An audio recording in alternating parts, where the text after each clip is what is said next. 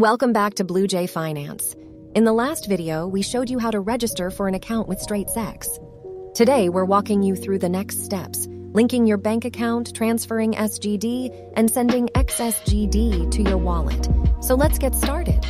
First things first, log into your StraitsX account. You will be asked to verify your bank account number through a small transfer above $1. Click on Bank Accounts, then click on Add New. Select the currency your bank account supports.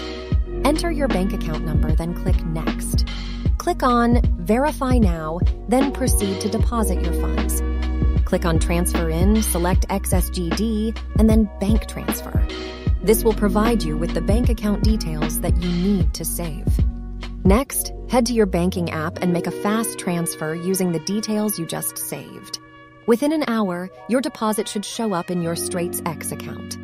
Before you can transfer to your non custodial wallet, you will have to whitelist it. Click on My Account at the top right corner, then Blockchain Addresses and Add New. Link your wallet using the first method for convenience. Select MetaMask or Wallet Connect. Then click Verify and Sign. Sign the transaction and you're done.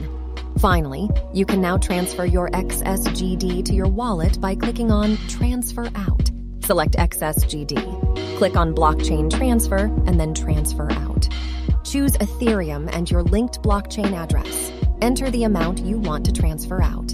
Within minutes, your XSGD will arrive in your non custodial wallet ready for use.